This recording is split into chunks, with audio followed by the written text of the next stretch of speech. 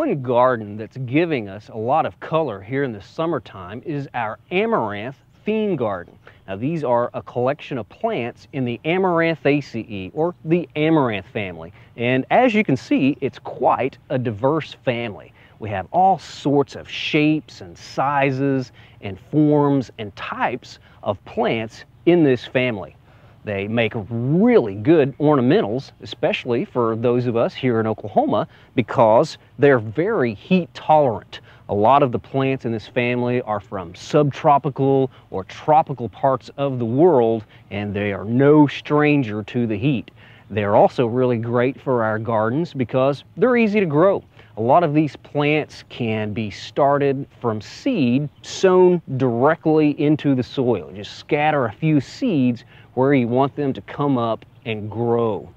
Well, the amaranth plants are also useful because some of them are edible. Some of them have seeds that have been used and are still used as a food source. We've got some seeds of some of the amaranth down here. You can see they're very shiny, usually a dark color, either black or dark purple. But these can be ground into flour and they can also be popped, sort of like popcorn for a tiny little snack. But amaranth seeds have been used as a food source by the ancient Aztecs, the Mayans, the Hopi, and several other native tribes. Well, we like growing these plants for their ornamental qualities. We have colorful flowering amaranthus, and we also have colorful foliage plants. And right down here, we have Joseph's coat. And this plant is used quite a bit in formal annual displays. It's a little foliage plant, comes in the colors of gold, green. There's a variegated white form of Joseph's coat. Right over here, we have a really neat dark reddish purple one known as red threads. And you can see those leaves are very narrow, very thread-like but uh, these are sometimes used to create shapes and they're sheared to maybe spell out a name or to create some sort of marquee or something like that. Right over here is a plant that looks sort of like a Joseph's coat, only a lot bigger. This is purple alternanthera. And I just love that dark purple foliage. I mean, there's so much you can do with this plant in different designs in the garden. You see how it contrasts very well with the golden moneywort down there. Now one trick to keep this looking tidy is to keep pinch, pinching the tips back so that it will become a lot bushier and a lot showier. Well, right back here we've got some small flowering plants in this family, the celosias. And right down here we've got a celosia. And the celosias come in two flowering forms or two flowering groups the Plumosa group and the Cristata group. This is the Plumosa group, sometimes known as wheat celosia. The flowers are in plumes or they sort of look like maybe feather dusters.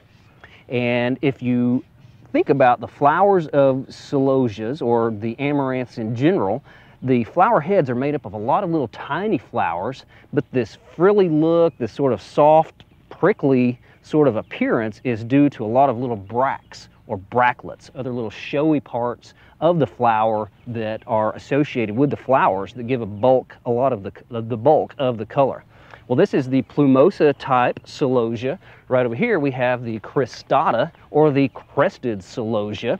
And these are sometimes referred to as the coxcomb or what I like, the brain celosia. And you can see that this sort of looks like a brain. And this must be a really smart plant because it has a huge brain.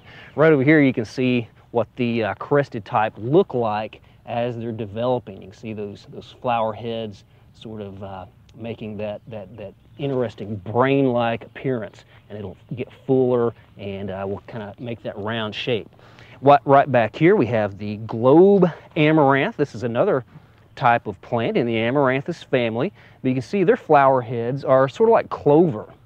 There are these dense little heads here at the end. This one's called all around purple.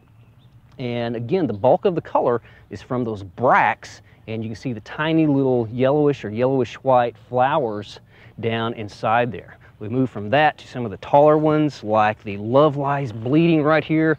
Very showy, tall amaranth, those strings of flowers kind of cascading there, very showy.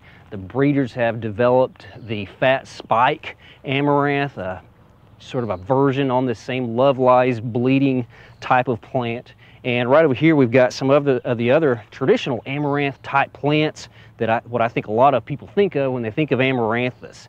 The summer poinsettia is a common name for this type of plant.